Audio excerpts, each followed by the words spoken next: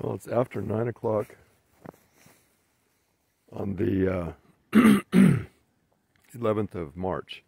And um, FPI maintenance has once again neglected to clear the sidewalks.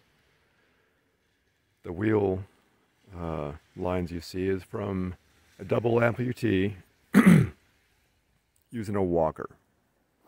Thanks, Derek.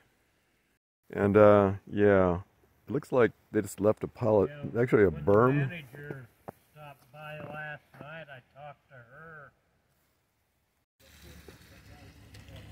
This is the handicap parking Before space. When. Oh, It's after 9 o'clock. Derek has done it again. Absolutely a freaking amazing. It's just the mailboxes are not cleared. This guy's a double amputee. Wow. Thanks for carrying. Yeah, these are uh, cleared sidewalks, according to FPI.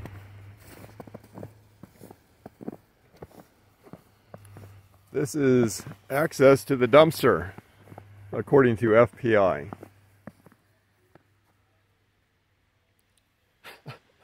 My word.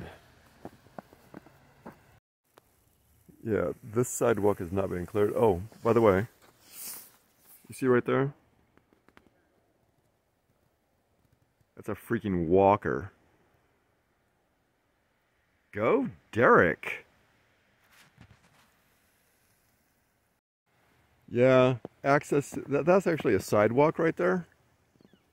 So access to the uh, clubhouse is impassable by for some.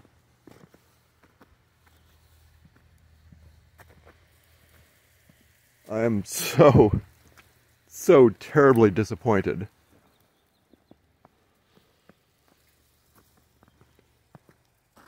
what is this?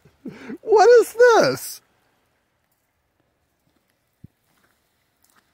That's supposed to be the laundry room. That's supposed to be access to the laundry room.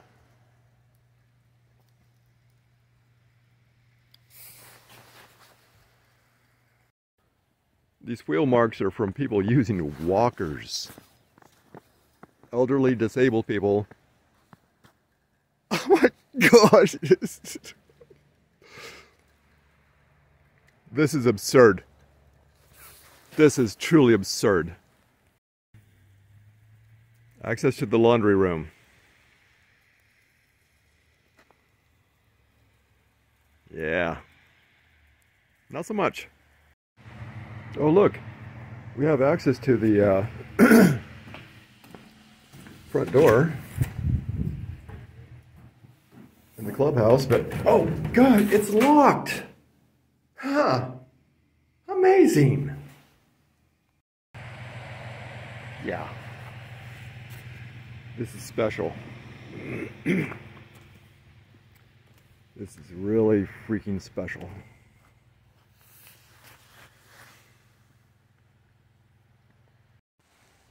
It's about 10 o'clock on the 11th, and I was going to do laundry. I was going to go to the exercise room, but uh, yeah.